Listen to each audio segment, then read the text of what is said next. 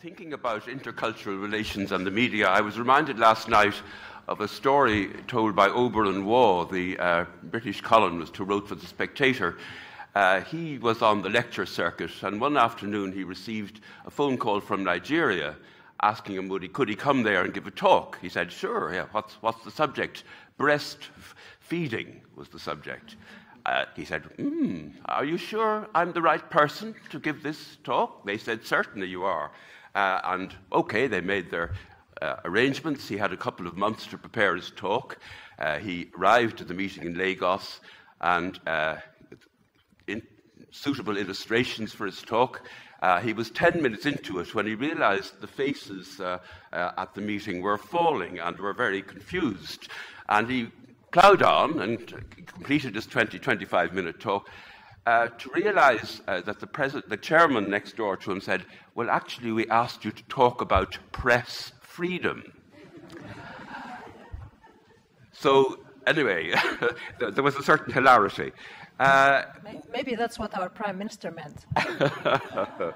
now, Rasha and I have been working, as, as, uh, uh, Andrew said, uh, on this subject. Uh, I'm going to summarize some of the um, uh, media mapping experiences that we've had very briefly, some of the good practices that, that we've, we've seen, and some of the action plans that we have that, that, that we're thinking about from a northern perspective and looking at the issue particularly of intercultural relations. Um, now, we don't have to reinvent uh, our experience. Uh, we've had uh, an experience over the, since 2005 in the Euromed region of exchanging uh, networks of journalists. Uh, um, uh, and within the context of a basic orientation towards journalism as part of civil society, two striking phrases were used at this meeting that freedom of expression is the greatest gift of the revolution. I think this was from a Tunisian uh, uh, participant.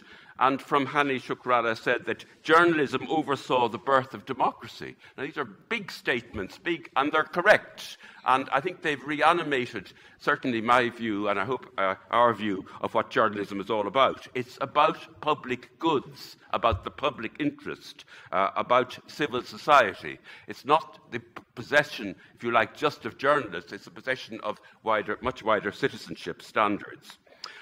This question of standards, ethics, uh, were, was brought out very uh, vividly by Aidan White in his talk. He summarized standards in terms of telling the truth, being independent, being impartial, being humane, and uh, practicing good governance. That's a good checklist. And the spirit of the meeting we've had has been on a peer to peer basis of equality, which is a, a, wonderful experience. And I think there's been, if you like, a convergence of experience out of the crisis and out of the uh, transformations uh, that we can all learn from. Now, I want to look just back at the last couple, few years of the networking working experience. There was a meeting in the Dead Sea in Jordan uh, in 2005, bringing together 100 plus journalists and media practitioners. Uh, and this was brought together by the European Commission.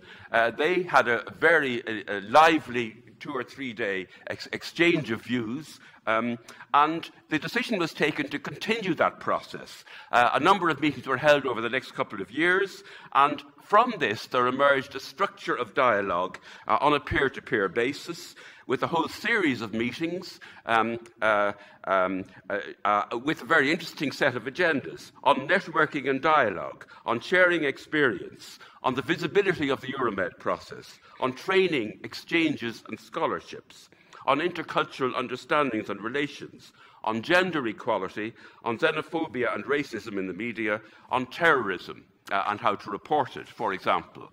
Um, and there was also, uh, and so hundreds of journalists, five or six hundred journalists, were involved in this over, over those years in various meetings. And a lot of experience uh, was accumulated as to how to organize these meetings, how to focus them, how to uh, have an input to policy making, for example.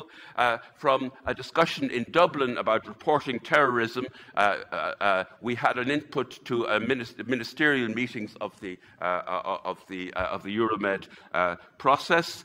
Similarly, an input from a discussion in Vienna about intercultural relations. Similarly, from a, a meeting in Marrakesh about media freedoms, uh, held in 2010, which anticipated uncannily many of the problems that we've talked about today and that have been faced during the revolutions. Um, in 2008, this initiative of dialogue and interaction and networking was joined to an initiative under the European Neighbourhood Journalism Network of training. Uh, and there's some very, very interesting experiences of, of training uh, on a swap and active rep reporting basis, uh, and, and, not just um, uh, for mid career journalists and not just for, uh, for, for people about to enter the profession. And this work continued until 2011.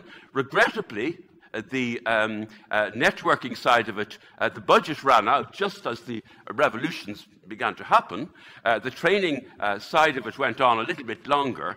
Uh, but we have to remember those lessons and bring them together. and remember the work that was done in this network with Anna Lindh, uh, in terms of expertise and in terms of good practice with the Alliance for Civilizations, uh, with IEMED, with PANOS, with Eurobarometer, and several other organizations. I haven't time to uh, explain them all in detail here.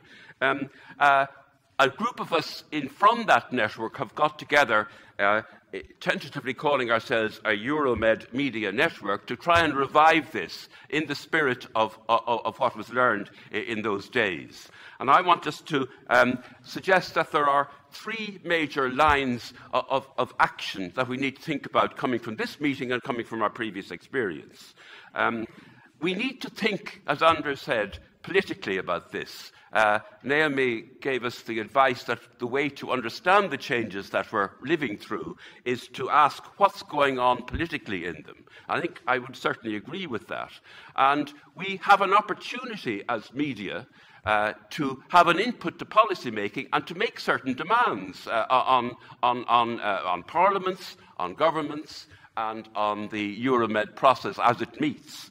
And we shouldn't be shy about that. Uh, if, if, if, if, it's true that the media is as central to societal and political change as, uh, as has been uh, argued and, and, and, presented at this meeting.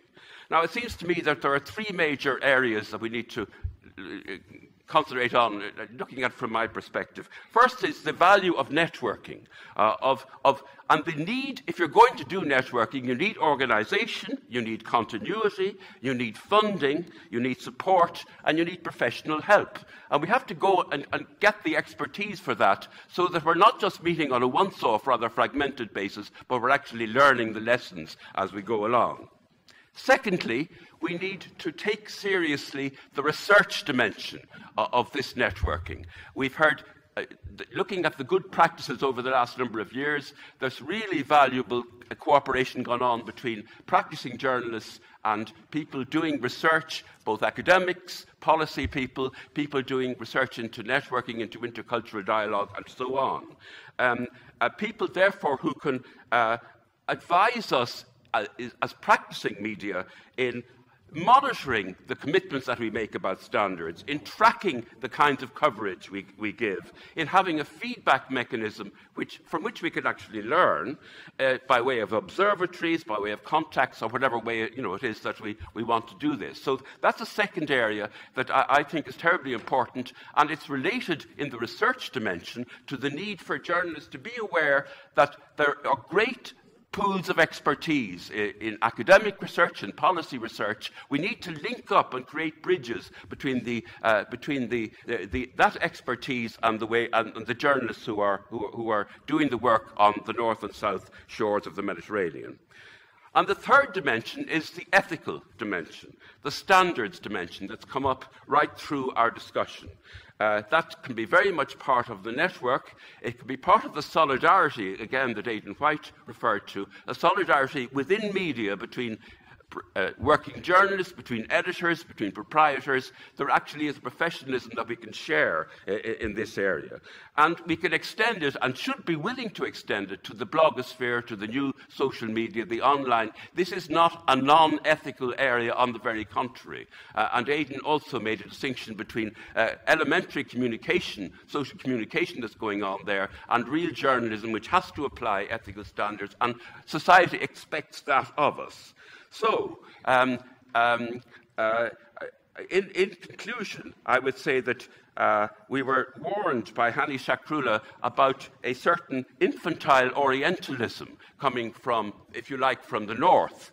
There's perhaps an equivalent infantile Occidentalism coming from the south, in the sense that we talk big generalizations about the Western media. I don't think there's any such thing. Uh, just as I don't think uh, one of the things what we've learned from the northern perspective is that an infantile uh, Orientalism uh, mistakes uh, a singular South uh, for the what, of course, is the highly diverse and multiple South that we, we, we, should know about. So I'll leave you thinking about those two other great subjects press feeding and breast freedom.